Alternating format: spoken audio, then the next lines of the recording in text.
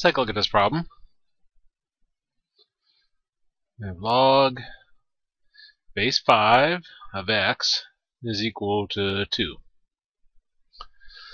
Now this is a log equation, so we'll go through our steps for that. First step is to get everything with the log on one side, numbers on the other side. That's done. Step 2, use properties logs or basic algebra to get a single log. Well, we have a single log. We have log of something. Don't want any numbers in front of it, don't want any numbers after just want log of something. Step 3. Use the definition log to rewrite into exponent form. Whatever numbers right here follows your log is your base, and whatever is right here is your q, then the other side the equals is your p. Now our exponent form looks like this. We got b to the p is equal to q.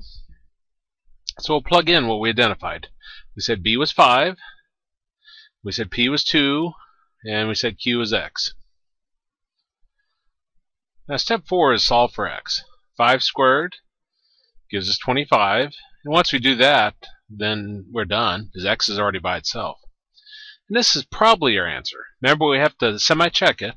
We have to check this, plug this back in, make sure we don't have log of 0 or log of a negative number. Well, if I put 25 here for the x, I'm going to have log of 25, and that's not 0, it's not negative. So that's our answer.